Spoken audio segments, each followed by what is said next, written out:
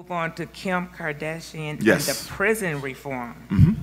You know, she has helped over 17 inmates. What do you think about Kim and her? Um, she's so passionate now to help with the prison. And what, what do you think she's up to?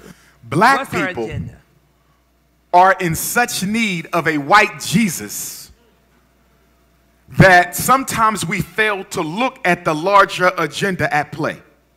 If you allow Kim Kardashian to speak for black people and black ex offenders, people uh, wrongly convicted, the incarceration population, if a white woman can speak for us before a black woman can, if we let a white woman speak for us before a black man can, you are now reinforcing an age old racist notion that black people are too unintelligent to represent their own interests. Because that's what they used to say about us during the times of slavery. With all the mom and pop organizations in Michigan, we need Kim Kardashian to speak for us. With all the grassroots prison movements in America, we need Kim Kardashian to speak for us. We need to be careful. And we need to be even more careful because what Kim Kardashian is doing is not solving a problem.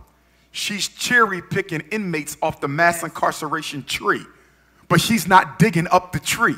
She's not burning the tree. She's only picking fruit from the tree.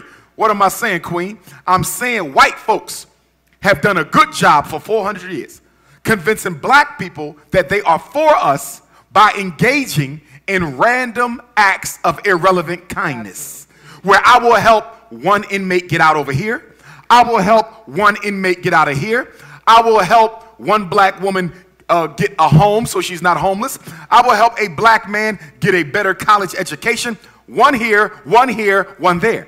But what you never see is Kim Kardashian or any other white folk do anything systematically to affect change in the system that causes the problem. In other words, Kim Kardashian, why haven't you pressed President Trump for changes in the criminal code? Kim Kardashian, where is your lobby to press our U.S. Senate and House of Rep for changes to the criminal code? Kim Kardashian, why aren't you showing up to the to the offices of these politicians and challenging them to make change to the code. Nah, I'm just gonna get one white mother, one black mother out of prison here, another black mother out of prison here, but you never do nothing about the system that incarcerates black women. So those 17 women that she got out of jail, they will be replaced in 17 minutes.